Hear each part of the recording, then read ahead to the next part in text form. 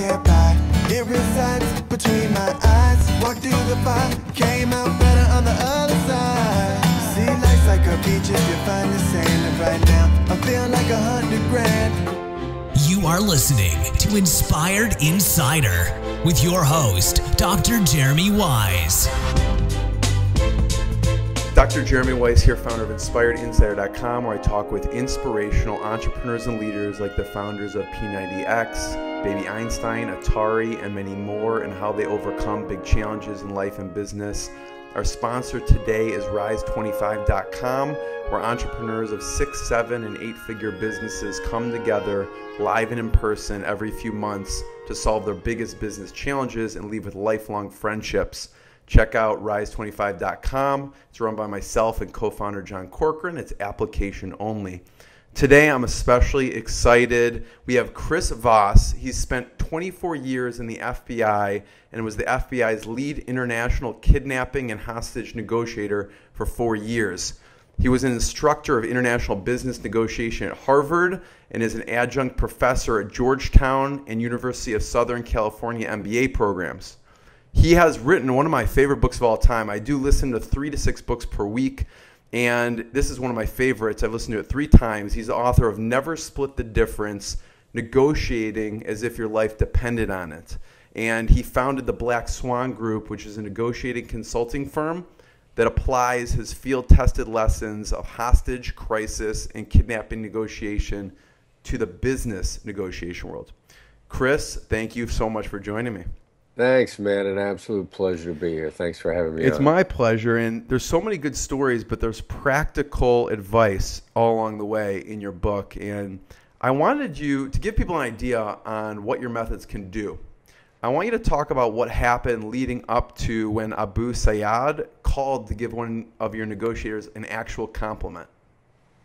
Well, you know, we uh, we had a kidnapping in the Philippines, and it was a $10 million ransom demand, and we managed to take the 10 million uh, down to zero in one conversation about halfway through that wow. uh, negotiation. And then ultimately, because we really sort of disorganized the other side, our hostage walked away, which left uh, the bad guys with nothing. I mean, absolutely nothing. They were, um, they were beaten. I mean, we, we, we won. And about two weeks after the kidnapping was over, um, the, the, the main bad guy, the, the, the, terrorist sociopath, called the negotiator I was coaching and said, Have you been promoted yet? You really stopped me from doing what I was going to do, and they should promote you. Wow. So it was the ultimate demonstration of respect, as far as I'm concerned. Yeah. So, what did you do? What are some of the things that you did to get to that place? Well, what we really did was, first of all, we took a we uh, you know we took sort of a stealth approach. I mean, uh, empathy, um, tactical empathy, weaponized empathy, military grade empathy. I mean, it, it is a stealth weapon. It's an absolute stealth weapon, especially with a hostile adversary. And we took a, uh, this this tactical empathic approach, where we knew we would sugar breakthroughs, we would break down his defenses. We knew that it would we'd remove all of his aggression with it. I mean, empathy removes aggression, and the other side has no idea that you did it to him. And you know the the the hallmark of that is when you get the other side to say that's right. Not you're right. You know, you're right. We joke in my company is the equivalent of f off. Right. You know, you're right is what you say to people that you want to maintain a relationship with, or at least you try not to make them mad, but you want them to shut up and go away. Right. That's that's why we say you're right, and that's why it's really bad. But when you say that's right, it triggers changes. Uh, I wish I had the brain science behind it. We haven't got it yet, but I know it triggers changes. Yeah. And so we decided we had one goal and one conversation with this killer. We're going to get him to say that's right.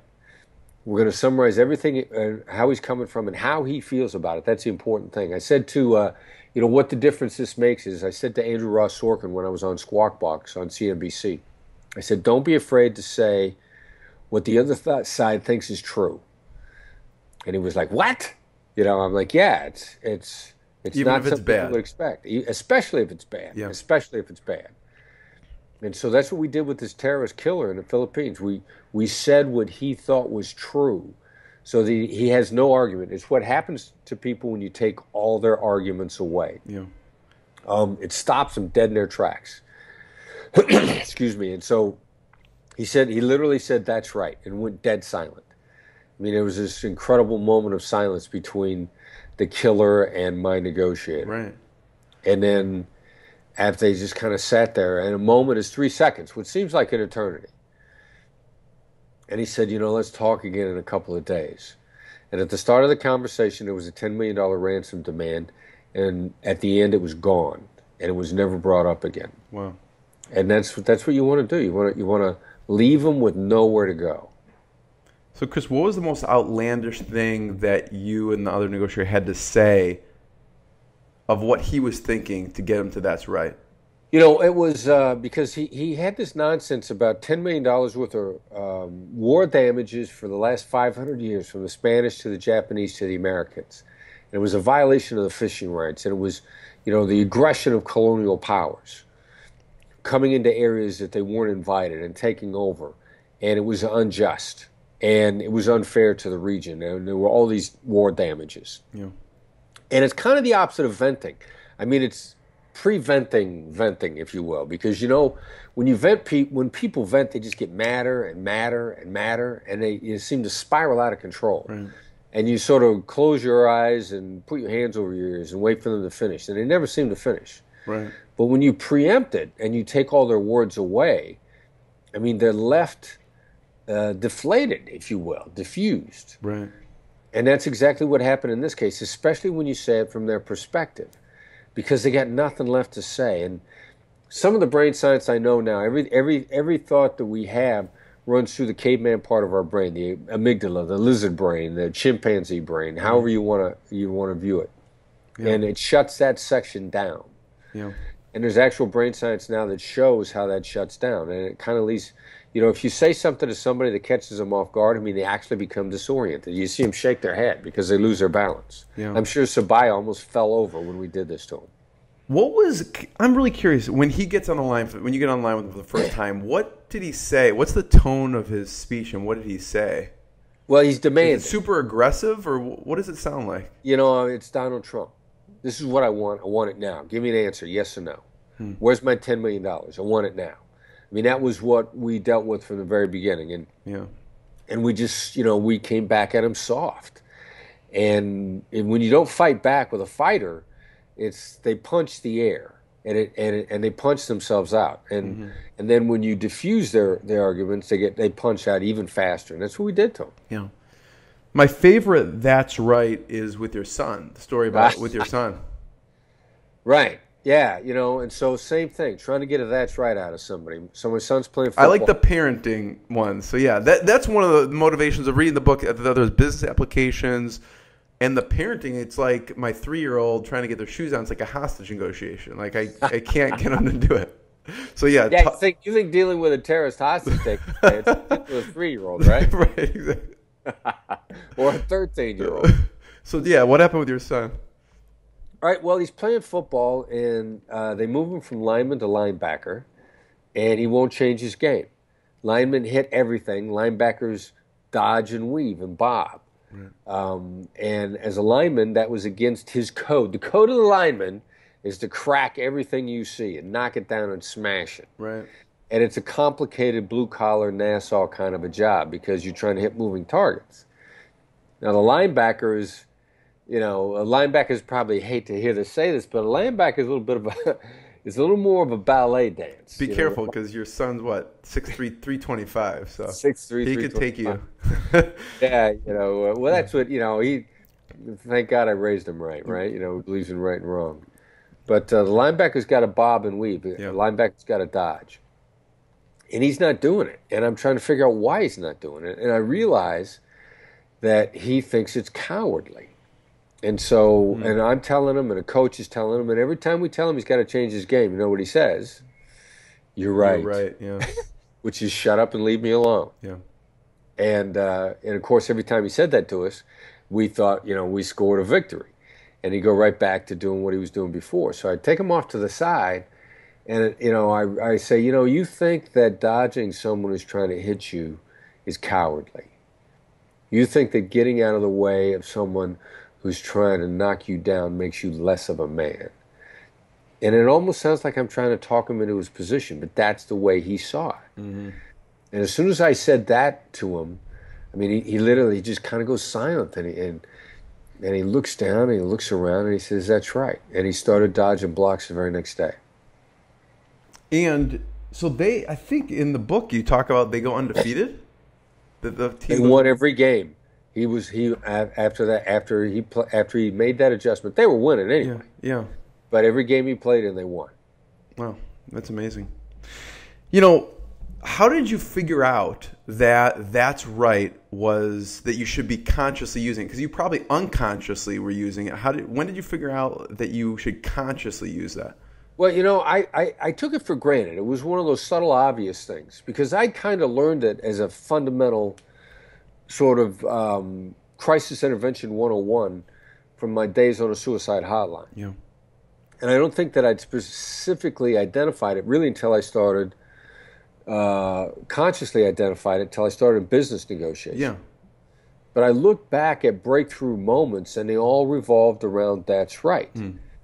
And like I said, it was something that I thought it was obvious. And you know, the subtle obvious is maybe the key to the breakthrough, the black swan, if you will, the tiny little thing that makes a big difference. Right.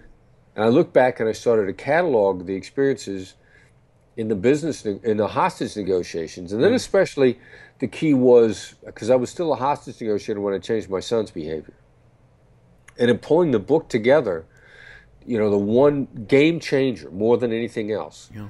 uh, because and don't try to get yes. You know, the original title of that chapter when we submitted to the publisher was "Yes is the last thing you want to hear." Yeah. And the publisher was like, "What? That's crazy! How could yes be the last thing you want to hear?" Right. We're like, It's a "Oh, paradigm shift. Yeah. Yeah, it's a complete paradigm shift. It's something completely different, and it was really why when we laid the claim that getting to yes is dead, um, that and that this is what you've heard about trying to get yeses wrong. This was a key issue, and then we went back and I started teaching in, in the classes I had at Georgetown, and people just started getting huge breakthroughs, and not just with Americans. This is a this is a difference between this and uh, people ask me, is this cross cultural? It's subcultural. It appeals to the reptilian brain that's in everybody's head and hits the emotions. And we've all got the same emotional makeup, you know, whether you're Chinese, Korean, African American, Latin American, Irish. We've all got the same emotional makeup, and this is this is what makes one of those things more powerful. Was there a point that you remember that light bulb that that's right that made you go back and think of all those cataloged moments, or was it just a progression? Yeah, um, it was actually when I started, about the time I started working on the book. And I was also trying to lay the information out in a more concise fashion. Right. Right. And then to, to make a point, the best way to make a point is to make it three times from the same different ways. Right. Uh, so it becomes three dimensional. And the most three dimensional point from a hostage negotiation to a negotiation with my son to like a litany of business negotiations was was the that's right moment. And when I mm-hmm. pulled it all together, nice bang, it was a light bulb for us. And what I thought was was going into reading the book that I didn't expect is a lot of I mean the no is is a big one obviously, but the the empathy component. Kind of getting to that's right, you have to have like a lot of empathy for the other side. And this goes into what we were talking about before the we hit record, which people sometimes view negotiation as horrible. And what's fascinating is you you see women don't want to read the book. Yeah, you know, and, and it's frustrated me because I think if, if anybody's natural born for this kind of approach to negotiation, which is ridiculously effective, by the way, it's women. And and again, I you know, and I and I and I also worry about natural born. Everything. I think the step from empathy, from sympathy to empathy, is a shorter step from aggression to empathy. Uh, now, sympathy, there's problems with sympathy, but society wants women to be sympathetic. And so there's a tremendous amount of social feedback to try to get them to be that way. And society has historically, I think, raised men to be more competitive. I mean, we have combative sports. We have football, we have rugby, we have hockey, which women are now just slowly becoming a part of. Uh, uh, the first organized hockey game I ever saw, I'm happy to say, was uh, the women's Olympic team playing hockey, which I thought was awesome. I loved it. But so the societal pressures have really been more against women to be competitive and, and to be attacked. And I think that's one of the differences. But, um, you know, like I, I'll run a Facebook ad for um, my book and or some of our negotiation teaching, and I'll open it equally to men and women. But I'll uh, try to earmark uh, interest in negotiation. No women click.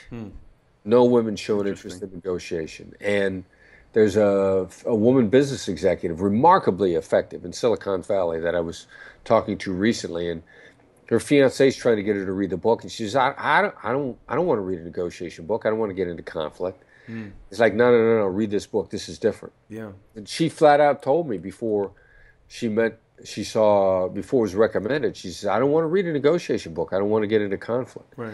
And this is about finessing inherent conflict and having it not be conflict. Yeah. It's like you'd almost have to redo the cover and the title and just say empathy is key or something and then you'd have like the same concept and all the women would buy it. Well, yeah, you know, this is not 1970s empathy either.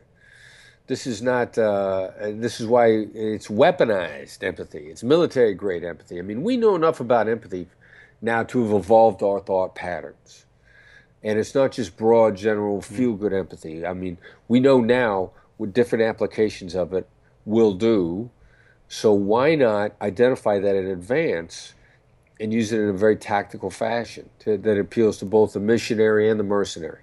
The mercenary because it works, the missionary because it's it's the uh, you have integrity when you do this. It, Whatever your code of morality is, it follows a legitimate code of morality. You're not exploiting others. Yeah.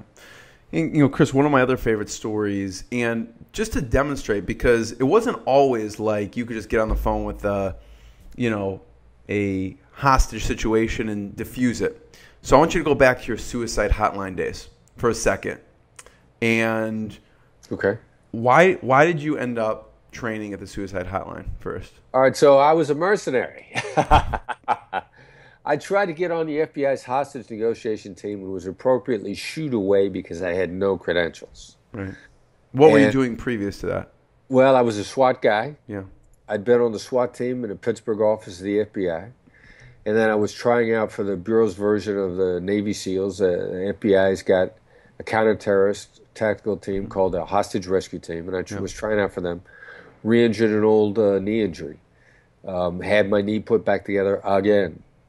Uh, there are a couple of orthopedic surgeons that have very nice cars as, real, as a result of my knee. Right. So I try to make my contribution to the economics there. And then I just decided I'd hurt my knee enough times. I didn't want it to blow it out and it not be able to put it back together. So I was like, ah, I'll do a hostage, hostage negotiator. How hard could that be? You know, I'll talk to Sounds hard to me. Uh, and so I went, but I had no crisis intervention, no educational background, no psychology degrees. And I went to the woman who ran it in New York, Amy Bonderow, um, tough New York chick. I say that with great reverence and respect. And she was just like, go away. Uh, you got no resume. Everybody wants to be a hostage negotiator. Everybody thinks it sounds cool, which I did, you know. I mean, that's, I thought it sounded cool. And I said, you know, there's got to be something I could do. And she said, there is. Go volunteer at a suicide hotline. Now, until you've done that, leave me alone. And so I went and volunteered and found some enormously behavior changing skills. And the theory was if you can change people's behavior under pressure, are the patterns the same? Are they just less intense? And mm-hmm. therefore, if they're less intense, do they still work? And the answer is yes and yes. The patterns are the same. They're less intense and it still works. And I had a, a conversation with a guy on a phone line. I said three things and completely changed his direction on, on the phone. And all that is applies directly to business and personal life. Yeah. But I mean, on one of those calls, you thought it went really well. But Well- your supervisor, Yeah. Oh, you got to bring that up. huh? yeah, of course. Well, and that you know that goes to the point that these are perishable skills. right, exactly. and it's why also why champions practice you know the the the the team that wins the Super Bowl, the team that wins the World Series, the team that wins the World Championship, they practice. The team that wins the NBA Finals, they practice because the application of the skills, um, performance-based skills, are perishable. Yeah. And so I get trained on the hotline. I get I get done with the training at the first part of the year, and I was sharp because the training was great, and I paid attention, and I'm coachable. Let's you know one of the keys to life is whether or not you're coachable. Michael Jordan was coachable. There's nothing wrong with being coachable. Yeah. So I was coachable, but I didn't realize that my skills were diminishing over the course of the year because I was using them all the time, and I didn't feel the erosion. And a year later, I had a call on a hotline, and I thought I was a superstar. I thought it was so good uh, that the caller that called actually congratulated me, and the supervisor took me off into the side room because it was the annual review, and he was like, "You stink, you're horrible." And I remember being stunned by it because, and I even said, "Didn't you hear the guy congratulate me?" He goes, "That's the first problem." Right. because and let me tell you why and he laid it all out for me and that's when i that was really that was an aha moment in appreciation for training. You got you got to train. You can't you can't rely on the application of the skills alone to stay sharp. It just doesn't work. What was a big takeaway from the training that you still use? um you know uh, conscious practice and practice in low risk situations and using it in day-to-day conversations and you know tony robbins likes to say no extra time net time you're going to have those day-to-day conversations Yeah. anyway so if you know what a couple of the skills are you know mirrors labels Yeah. use them in a day-to-day conversation when you got no skin in the game you're Yeah. going to have those conversations anyway Yeah. the person's going to like you more, and then you're going to be able you're going to be able to perform when you have skin in the game Yeah. because you, you will have practiced, and Yeah. you've got feedback too. I mean, in a in a normal conversation, and that that was really because the first time I tried to use one of the skills with the woman who's now the ex Mrs. Voss, and I applied it the same way I did on the hotline, and she blew up. I mean, screamed at me, What, yelled what did you use? well, uh, the go-to the go-to label, if you will, on a hotline is anger. Um, like in business, the go-to label is fear, and you call it concern. I got you. But I knew uh, on a hotline that the anger was underlying something somewhere. It's the profile. You're angry about something. You're angry about a loss. Yeah. You're angry about a slight. You're angry about a lack of appreciation. So I would always say, you know, I'd label it. I'd, I'd, I'd listen for it and I'd say you sound angry. Um, so then I'm in a conversation with the, the now ex Mrs. Voss on a fundamental issue that was one of the reasons why things didn't work work out. And I'm saying to myself, ah, you know, I hear anger. I got this one.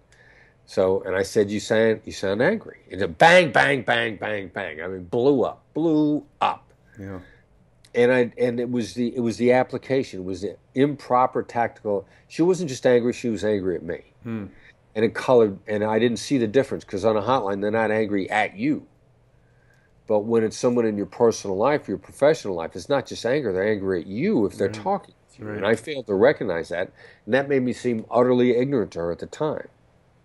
And that, that was part of the whole adjustment process. You know, the tactical application of empathy is understanding how the other side sees it, not how you see it. Right.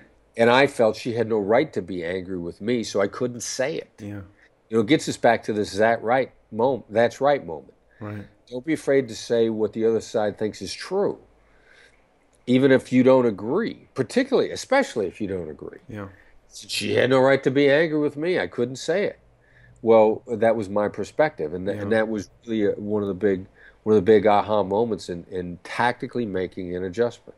Do you think when people are too close to it, it makes it much more difficult to do that? Well, yeah, when we're really close, we tend to think, well, your point of me is unfair or improper. Um, that's got nothing to do with empathy. That's why Yeah. empathy is not sympathy.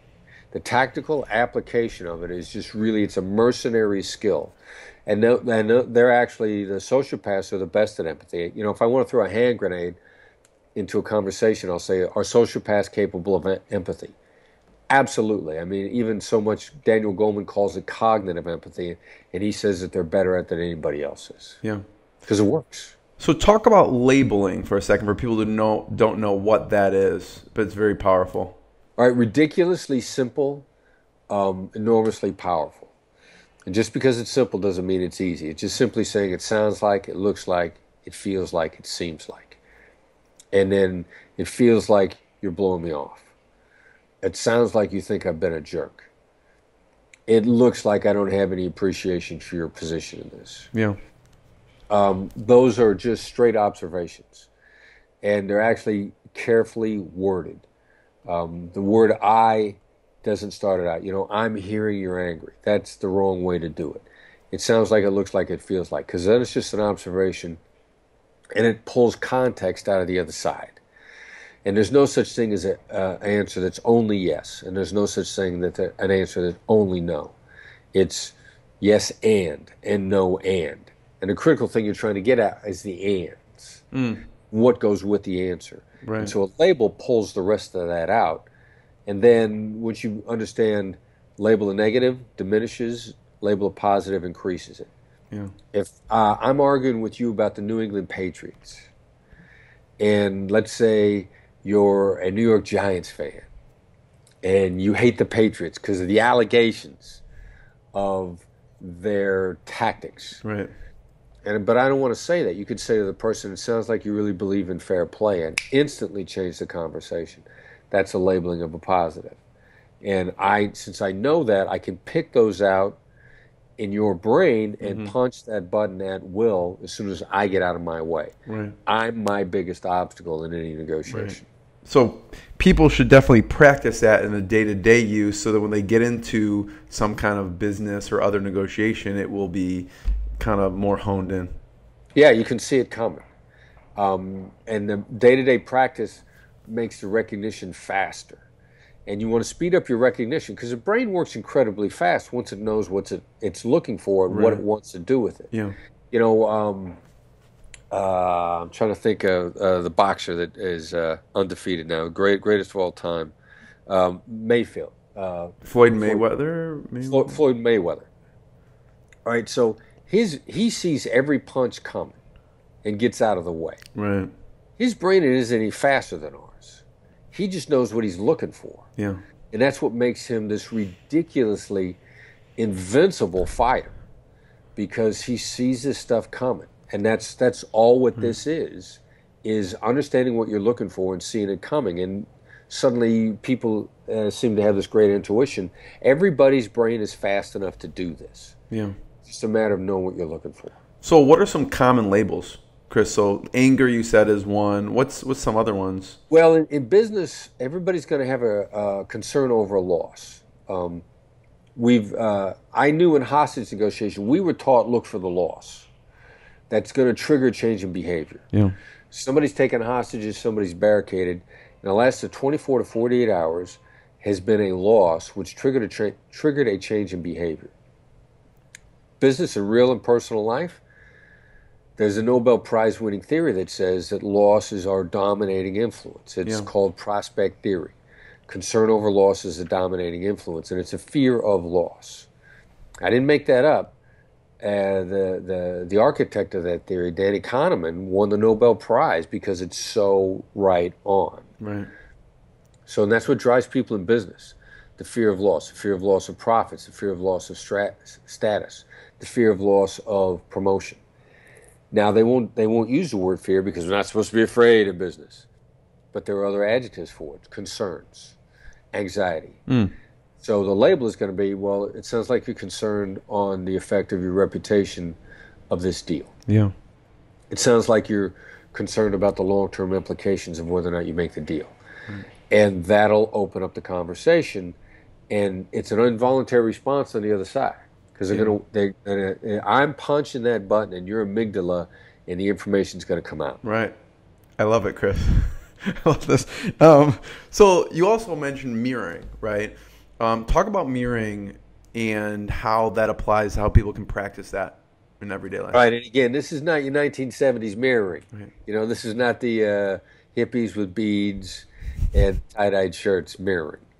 Uh, this is a tactical, simple, Yeah. Yet um, incredible, invisible stealth approach. I think in the It's book you call it a Jedi mind trick. It's a Jedi mind trick. Yeah. You want to be Obi Wan Kenobi?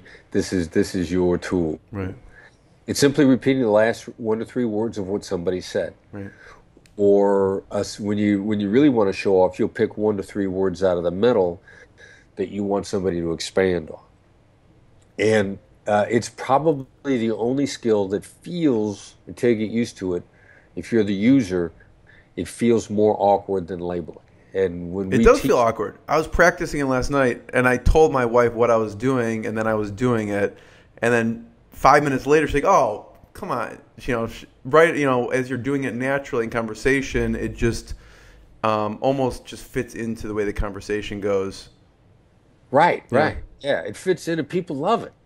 I mean, they want to go on. You know, my favorite example, um, like Howard Stern, one of the great communicators. He's got somebody on the line. I'm listening to his radio show, and a person is mirroring him because he's trying to, you know, they, they get a, uh, a listener on the line, then they ignore him and see how long they can keep him on the phone. They used to do this all the time. I'm listening to radio in New York. Um, and they make fun of these people by ignoring them. And people go like, hey, and they just completely ignore him. Well, this list, this caller, Stern can't ignore him. And finally, he says, "Stop that! You're bothering me." And the listener says, "You're bothering me." He says, "Yeah." He says, "You're repeating everything I say."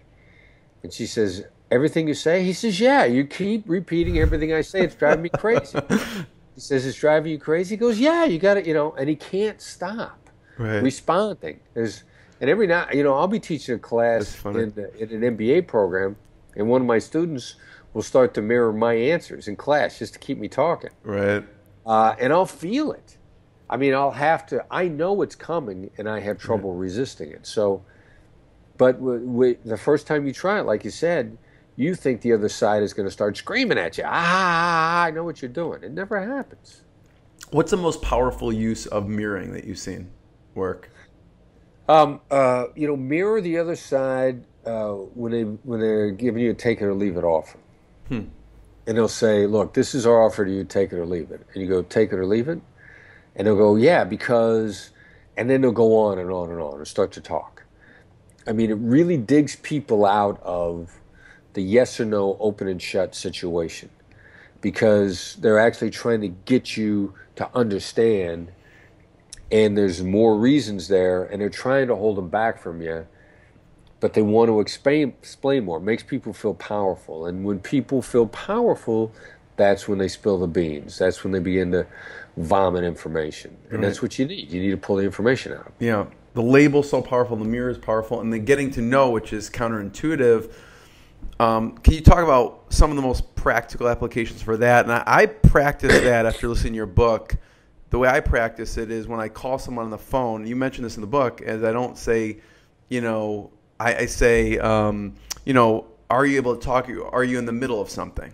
And they'll ah. say, no, I'm not in the middle of something. I can talk. So I practice that no by when I call anyone, I ask them, are you in the you know, can you talk or are you in the middle of something? I like that one a lot. Yeah. Yeah, because most people most people want to say, "Have you got a few minutes?" Right. which is looking for a yes. And yes, since yes is commitment, yes triggers anxiety because people worry about what they commit themselves to.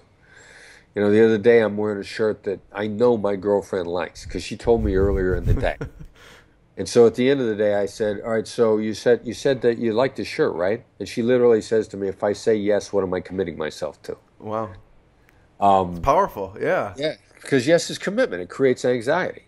And so the flip side is, you know, no, which is the boogeyman that we're often taken hostage by. We fear no. But no is protection every time. So are you in the middle of something? No.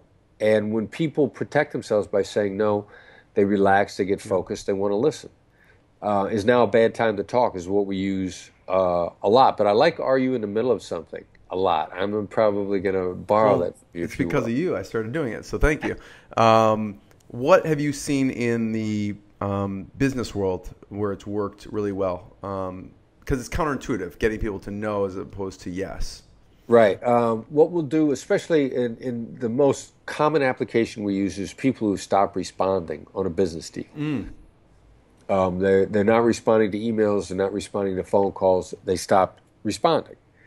A one line email, have you given up on this project? Yeah. Instant, instant response, three to five minutes. Um, because it's no, and it triggers a sense of loss. Have you given up on is also uh, hitting the prospect theory sense of loss, which is double the motivator. Yeah. And uh, you'll get you if you send anybody an email or a text that says that, you better be sitting there waiting for an answer because uh, they're going to come back very quickly. That's a Jedi mind trick too. All these are Jedi mind tricks. Um, I love this. So go back, take me back, Chris, to Iowa. What was it like growing up in Iowa? I want to know what you wanted to be when you grew up, when you were in Iowa. You know, uh, you know, the only thing I, I I didn't want to be specifically. I wanted to be a cop once I got to my teens. you did. Yeah, uh, that that was. Uh, I saw a movie and I was inspired by the creativity of the police officers involved.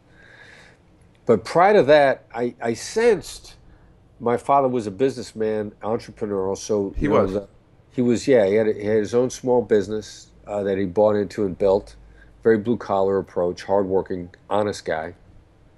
And I wanted to be entrepreneurial Yeah. in whatever I did. And so I applied that once I got into law enforcement, you know, just to try to be innovative. But, you know, growing up in Iowa, just blue collar family, uh, uh, an older sister, two younger. My parents' expectations of all of us was exactly the same work hard, figure it out, keep up. Yeah. Um, which, you know, in, in my, and I th- that colors my expectations of women today. I, you know, I see them as being capable of anything I'm capable of doing. And my attitude towards them is keep up. Yeah. You know, you want you and I are capable of the same things. Yeah. And I grew up in a in a keep up, stand up for yourself environment. That's what Yeah. I expect of others. Chris, I asked because okay, there's Michael Jordan, right? Everyone, you can teach people to play basketball, but there's some greats out there, and there's been tens of thousands, maybe hundreds of thousands of negotiators, and not lead negotiators. So I'm wondering what what do you think separates you? Because there's skill involved, right, in practice, but there's also an inherent natural ability What what is it with you that allowed you to excel in this particular profession and and craft? Um, well, uh, openness. You know, I'm coachable. I'm willing to learn. I don't. I look back on my earlier days, and I um, I'm not ashamed to admit I was ridiculously lacking in empathy. Really? So Okay, I thought you were going to say the opposite. No, no, no, no. I think, um, but emotional intelligence is not like EQ is not like IQ. You can't change your IQ. You can change your EQ. And if you're open to learning and you want to do a better way, and then you start listening, they can come to you very quickly. And there's, there's, uh, you know, the good news is uh, our EQ might be almost unlimited. And the data now has got us that we can continue to build and get better at EQ up through in our mid 80s. And I think that's because, you know, these days active businessmen are lasting until their mid 80s. And in 10 more years, they're going to say you can improve your EQ to age 100. So I was open to learning. I wanted, I told Amy I wanted to learn, and I wasn't joking around. I wanted to learn. And so it's a teachable skill. You don't have to have it naturally in you. I think a harder thing is to be an effective negotiator, you do need to be assertive. You have to be able to assert your own best interests, which mm-hmm. is what empathy is for. Mm-hmm. Empathy, tactical application of empathy is a precursor to assertion. Some people, I, you know, I, I don't know how naturally you can teach assertion. You're never going Right. to get a good deal without it. So naturally, you think you have that, you know, that assertive nature also. My my my caveman response Yeah. Is in, in response to a threat. It's either fight, flight, or make friends. Yeah. Those are the three responses. Uh, the fight is my natural born response. Yeah. You know, I see. It is. I read the story of Davy Crockett killing a bear with a Bowie knife, and I thought that's cool. and some other people think that's stupid. Why would you let a bear get that close to you with only a knife? And yet other people would say, "Oh, the poor bear." so, Then you laugh at them. Yeah. yeah, you know, those are the three types. How do you prep right before something? You're about to get online with uh, the most critical, escalated situation possible, whether it's someone has hostages or they're a terrorist and they have someone. How do you prep internally? Like I've talked to Olympic athletes and they'll say something over their head, or what do you do pre-call to psych yourself up, or or your your methods? All right, so if I know that there's anger on the other side, then I practice hearing myself using the late night FM DJ voice. I'm just here to help us both work this out. And that'll put me in that zone. Mm-hmm. Now, if I'm upset, then I'll tell myself, you know, I'm lucky to be having this conversation at all. Because uh, uh, a positive frame of mind puts me in a 31% more effective frame of mind. My brain will work up to 31% faster if I'm in a positive mood. And the rest of it will come to me. Um, I'll think faster. I'll figure it out. I'll be more empathic. Um, and I'll and you'll like me more and you'll be more likely to make a deal. And I and I actually had this. I was rehearsing in my brain a, con- a conversation with someone I was unhappy with, and I couldn't think of the right labels. And the minute I stopped myself and I said, you know, the only reason you're having this call is because you're successful. And this person is bringing business to you that you wouldn't have otherwise. You're lucky to be in this call. Hmm. And as soon as I had, you know, I know it's a You cliche, were grateful. but the attitude of gratitude Yeah. puts me in a positive frame of mind. and I'm smarter, and I'll do better in a business negotiation if I say, "Look, I'm lucky to be talking to you at all." Yeah. It's a sign of success. Yeah. I love that. How did you again like you you have these terms like the label, the mirroring, the you know, how did you come up with the DJ voice? Cuz that's again something you may have just done naturally to soothe the other side. How did you actually realize consciously you were doing that? That was an accident. Um, that started when I was first training on the hotline. Uh, I think because I was nervous in the skills, and I was so focused on the skills that you know when I I'd, I'd answer the phone, hotline was helpline, and I'd say, "Hello, this is helpline." And after the first call I did that on the phone, the reviewer said, "Man, your voice is great," and I went like, hmm. "Wow, what did I do? I had no idea." So I I played it back in my head, and I heard myself doing that, and then I tried to think of the descriptor, and somewhere along the line, I realized it sounded like the late night FM DJ. Mm-hmm. For those of us that grew up listening to FM radio, Right. Yeah, I was listening to an interview with you, Chris, and you, I think, said that sometimes, or maybe it was in the book, up to seven people are listening sometimes on these um, hostage calls. So, Right. what are people? What is everyone listening for? All right, yeah. I mean, there's it's uh, in any conversation. There's like this smorgasbord, this buffet of potential information. So we're listening to adjectives. Yeah. We're listening to the tone of voice. We're listening to inflection. We're listening to the between the lines descriptors when someone's really passionate about something. We're listening to personal pronouns. Are they plural or are they singular? The more they use plural pronouns, the more powerful they are. That's interesting. The more they use singular pronouns, the less powerful they are. We're listening to whether or not they use profanity their choice of profanity. We're listening to how long they talk.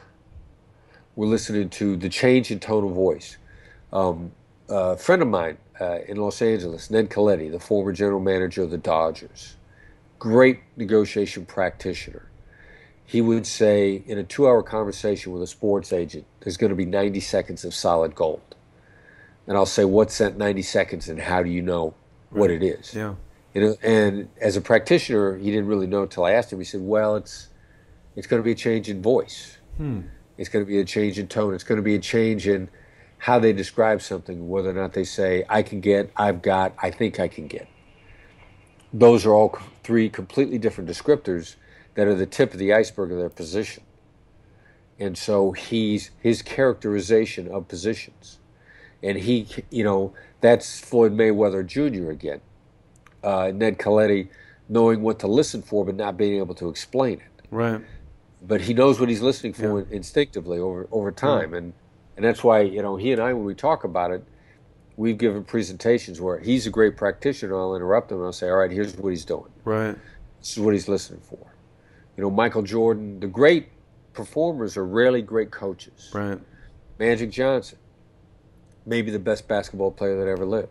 Horrible coach because he learned how to do it without explaining it. And, and really, I think I'm a, I'm a better negotiation coach than I am a, a negotiator. I think I'm a pretty good negotiator, but I could coach you up quickly because I've understood how you know how to help you get it better. I like to actually think of myself more as Phil Jackson than Michael Jordan. Yeah. Well, it sounds like the book helped you process those things that you actually did.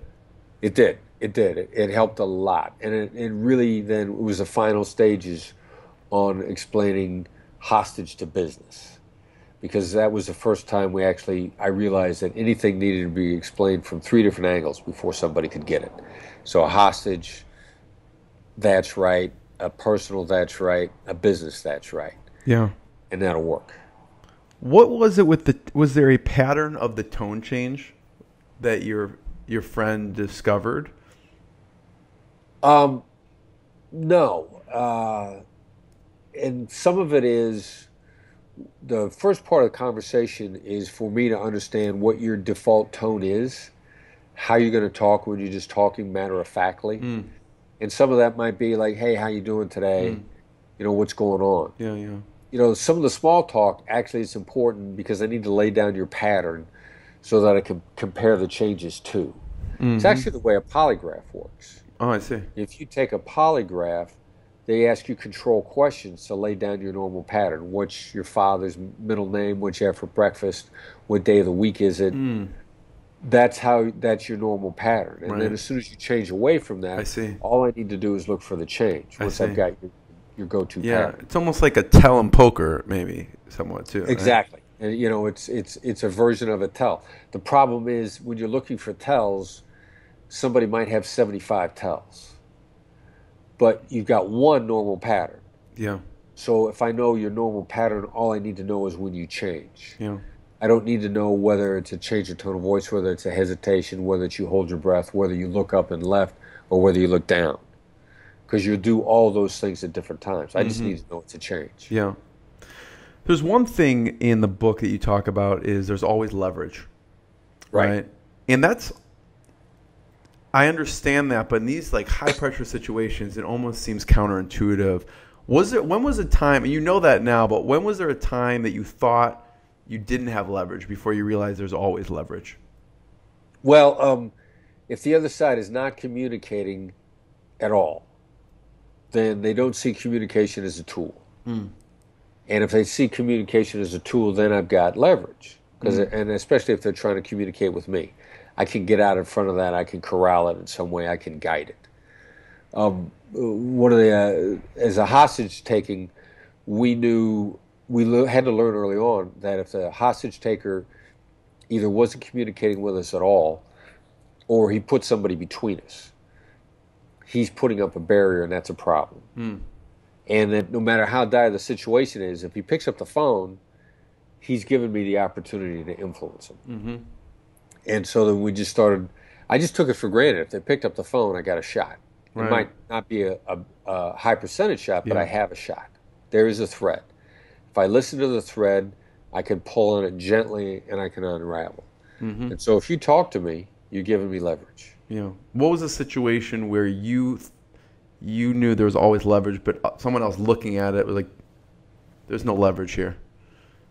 Like- Well, I think um, with our terrorists in the Philippines, yeah, and especially with terrorists, they start making threats, and you make all these presumptions. Ah, there's a terrorist; they won't listen. Uh, they're making threats. They said it, and so therefore they meant it. Well, the real issue is how specifically did they say it, and I'm looking for anything that's vague. And as soon as it's vague, I know that's my way in. Where where is the where is the where are the vagaries? And so if we don't get our money, we're going to kill the hostage. Um, there's a lot of vagueness because they didn't say when, and they didn't say how. Mm-hmm. And it's beginning to understand the specificity of the threat: who, what, when, and how. If any one of those are, are not there, then there's a vagueness and there's a way in. You know, some of the influential books for you besides your own. You referenced the the No book a lot. Start with no. Jim Camp's book, Start with No. Camp's uh, theory was if you make people feel like it's okay to say no, you preserve their autonomy and they relax. Mm-hmm. Um, that's really what hostage negotiation is all about. Yeah. And because people will die over their right to say no. Now, and Camp says that in his book. So what we did was, all right, so if they want, if their right to say no is that important to them, what happens psychologically when they actually say no? And that's where we took that to the next step. Yeah. So Camp's book was very influential. Um, uh, the chapter from Bob Mnookin's book, uh, Beyond Winning, the chapter called "The Tension Between uh, Empathy and Assertiveness." Yeah. I mean, I still assign that, and um, that chapter that uh, Bob Mnookin wrote makes that entire book worth it because he does such a beautiful job of explaining empathy that you kind of need to understand that to understand tactical empathy. Right. And so I, I, I, like I said, I still assign it. I'm still assigning stuff from uh, Daniel Goleman's book, recent book, Focus, and he breaks empathy down into three types of empathy. One of them is the cognitive empathy that that that I practice, and I think that that's enlightening also. So you know those those are bits and pieces here and there some really good stuff that's Yeah. out there. Anything written by Adam Grant is extraordinary. His Yeah, yeah. book Originals is very powerful. Yeah. Yeah, Give and Take was fantastic also. Yes. Um, so why did you decide to write the book? Um, well, uh, I felt like that there was always a book there, but we needed to make sure that we sort of had a, an entire process from beginning to end, Yeah. and how all the skills applied, and then we discovered some truly new stuff. You know, I've been applying the hostage negotiation skills at the McDonough School of Business in Georgetown to great effect for a while Yeah. and we we kept you know labels. We really refined labels and made them very tactical. Um, getting enough solid feedback to know how powerful the word "no" is, and that you could it could be a game changer. Yeah. And then getting enough uh, instances of "that's right" as game changers. And it, it took several years of proof of concept in a business world, and we we felt like we had it. How did you decide to choose the co-author or a co-author? Tahl Raz is a superstar. Yeah. And I had actually read a book that he'd written and co-authored called "Never Eat Alone." Fantastic book. Keith yeah. Ferrazzi, yeah. Yeah. In 2005, one of the best business books of 2005. Phenomenal book on networking. I mean. It's the Bible on networking.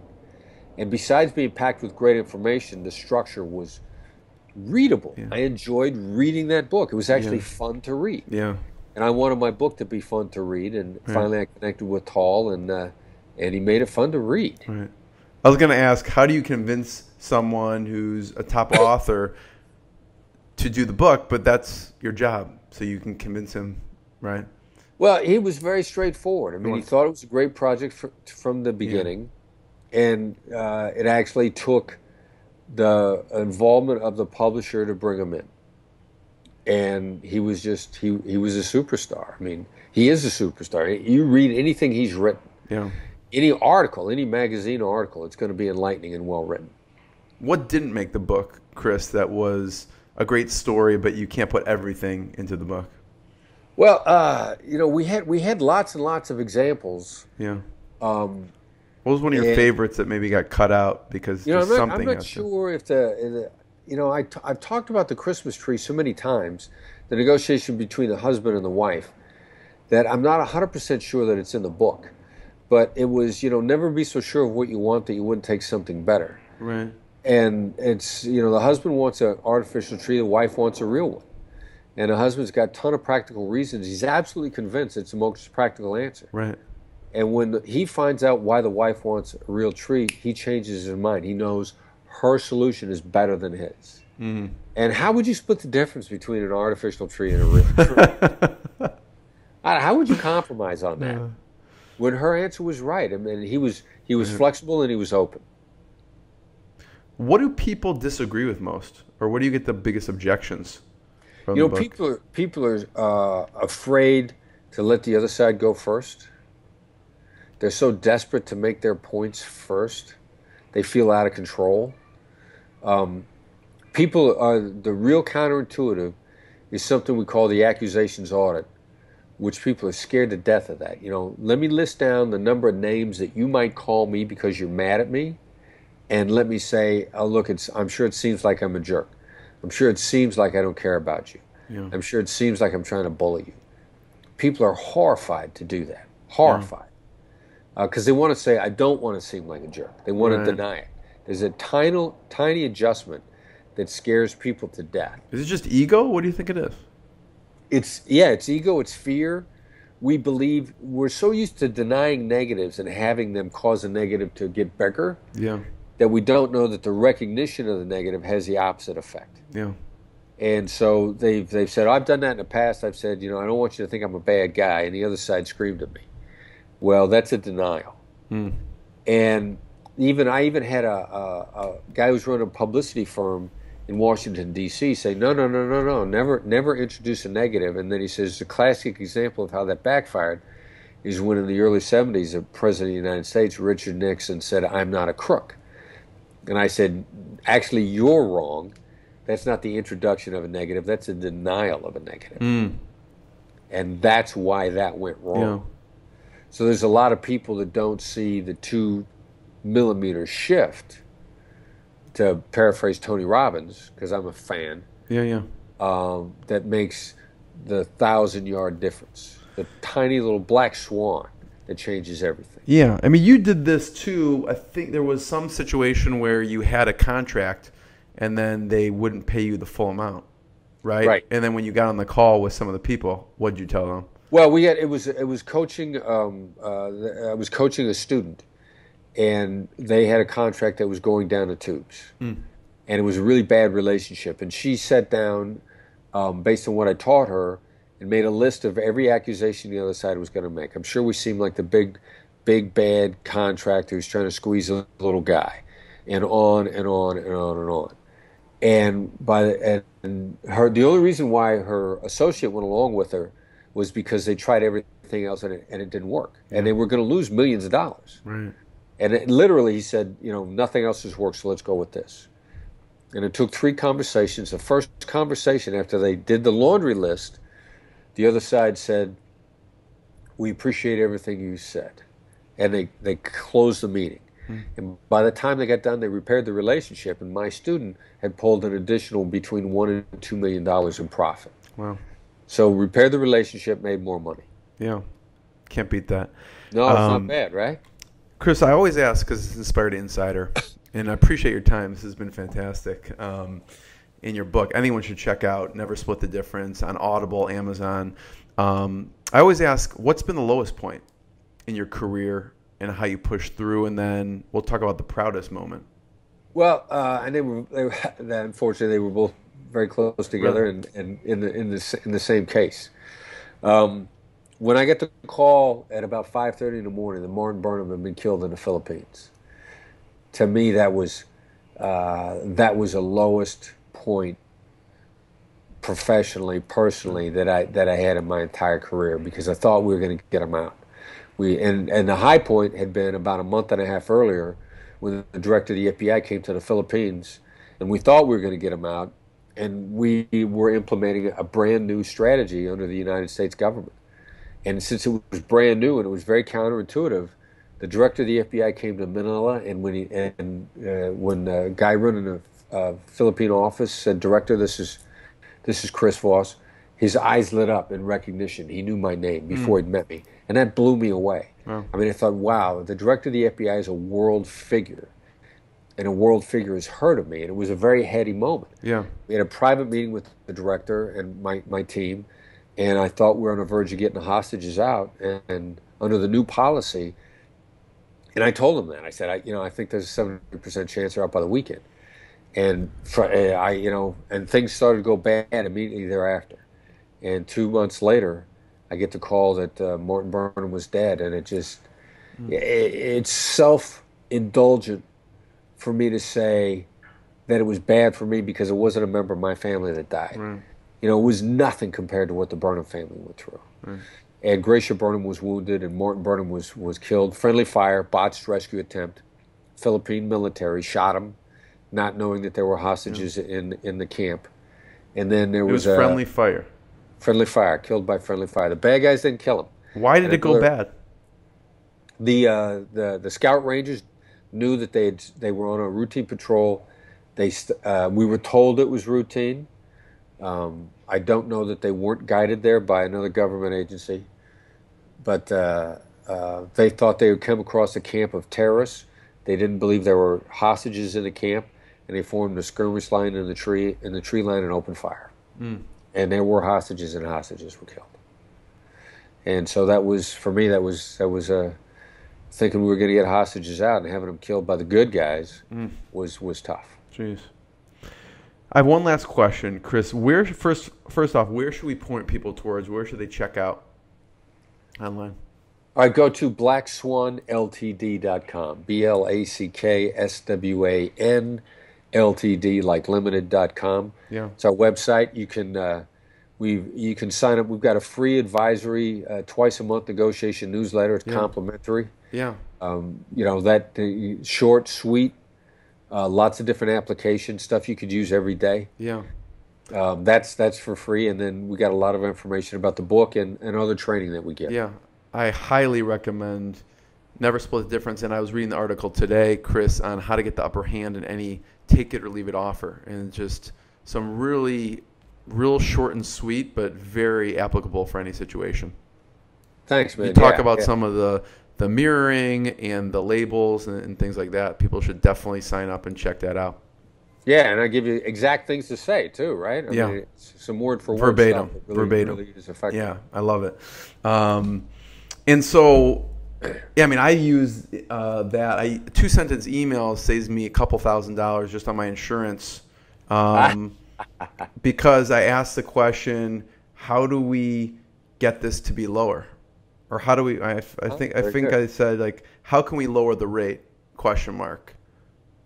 And that one sentence will save me thousands of dollars yeah, because they immediately came back with lowering it. Yeah, beautiful, So, nicely done. so thank you. Um, well done. yeah. Last question. Um, tell me what you learned from your son. So he's been negotiating with you since he was two, right? Pretty much. Yeah. So, and he works with you, yep. right? Yeah. So, what's his role, and, and what have you learned from him? Well, he handles. Uh, we've got a, a lot of uh, internet web-based instruction. He handles that entirely. Yeah. He's really advanced the understanding of the three types. What do you mean? Uh, well, you know, the fight, flight, or make friends. He's been fascinated by that and has really seen the differences in the reactions. And then a lot of times we're talking stuff through. There's a phrase that we use: uh, forced empathy. I mean, why do you use empathy with someone? Because you want empathy in return. And what are the trigger moments? What forces empathy, whether the other side likes it or not? You know, and, and that's why you're trying to set up this entire dynamic. So he's really added to the depth of thought on the types and the tactical use of empathy. And, and he actually, as I've come to find out, got himself out of trouble as a teenager all bunch of times. Unbeknownst to me. And I don't know if you have a few minutes or not, but I'd love to have you talk about the services, some of the services you offer at Black Swan. Do you have another call right now, or No, I'm good. I'm good. okay? So, talk about the services that people like. What you know, what can they hire you for, or your company for, or what can they explore online uh, outside of the book? Well, we'll we'll we'll help you get better at negotiation through some of the. Uh, we've got an email negotiation course that's coming out. Uh, that's that is out now, but it comes. You get one lesson per day for 24 days, Nice. which gets you past the 21 day uh, rough threshold of bringing on a new skill. It takes about 21 days of practice to to make something more part of your bones, Yeah. and that's the design of that. Um, we've got What's the uh, structure of that? So it's an online training, so they'll get an email, um, different practice lessons. Right. You get you get a short, sweet lesson into your e- inbox once a day. The idea is, uh, since it's short and sweet, it's easy easy to digest. You can start your day sort of aligned with a, another aspect of a negotiation skill. Yeah. So it's a it's a great way to start your day Yeah. and to make your negotiations that whole day uh, more effective. And so we've got that. We've got the uh, the, the newsletter that comes out. We uh, we've got some in person training that we're going to do in New York later this month. Yeah, I saw that. Yeah. It's And you so, and yeah. someone else, right? Was- Yeah, well, it's uh, uh, you know it's Jim Camp's son, Todd Camp, oh, got it. because it's uh, the the the ideas are very complementary, and so and Todd's got a very effective coaching model that we like a lot, and we've just been collaborating in as much in appreciation to how much I like their approach. So we're giving you a dose of both. So people can can companies hire you to do some like a, a training too? Also, And we will we'll tailor training for your company anywhere from a half a day to two days Yeah. with a lot of supporting stuff. yeah, Um, we can come out for a day and then we, we're going to want to coach you because a day is a short period of time. yeah, But we've got a lot of follow on stuff so that it becomes part of people's bones. So there, there's training and coaching. We, we can be your wingman in a negotiation, but Hmm. Really? you, you'll get farther if we coach you.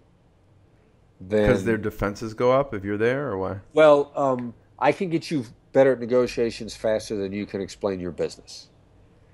So I'll I'll help you get better at picking out those two millimeter changes, Yeah, and you'll get it faster because you know your business better than I do. right. I can help your negotiation aspect, and so that's why we coach. Yeah. Who are the companies that you've found tend to find this the most valuable? Like they see the inherent value right away. What you know, type of more, company? it's more people People. and it's it's it's you know the the whale hunters, if you will, the big producers, uh, the people that are looking for game changing skills. yeah. So I'm just saying because if people are looking and they um, have a referral to give to you, like myself, who would be like what would give me an idea of an example of of companies or people who have hired you? Uh, well, uh, yeah, I, I'm giving you. Um, if if you don't already think that you're automatically a good negotiator, I mean, IT companies, the one industry that isn't kidding itself about how good it is about negotiation are really IT companies, because they're making their um, success based on nonverbal communication by and large. I'm actually trying to expand a little bit more into, into Silicon Valley these days Yeah. because every, everybody else on the planet, if they're successful in business, automatically assumes they're successful as negotiators. Right. Chances are you're succeeding in spite of your negotiation skills and because of your business acumen. Right. And They're um, compensating. well, you've, you've you've at least learned what terms are going to kill you, and you're not taking those terms anymore. yeah. And you've been suckered enough times by hope that you're no longer taking a uh, uh, um, uh, a contract because it's going to bring you great stuff in the future. Yeah. You know, there are tangibles here that you can harvest. Yeah. So, um, a lot, but uh, if an industry, if you will, a little bit more of the internet-based industries, I think are are Yeah. are where we're going to expand more. Yeah. Yeah. I mean, in my opinion, go to Black Swan Ltd. You'd be a fool, in my opinion, to not buy Never Split the Difference. So, Chris, thank you so much. I greatly appreciate your time. Thank you for having me on. Yeah. It's been an absolute pleasure. Thank, you very you. much. It resides between my eyes. Walked through the fire, came out better on the other side. See, life's like a beach if you find the sand. And right now, I feel like a hundred grand.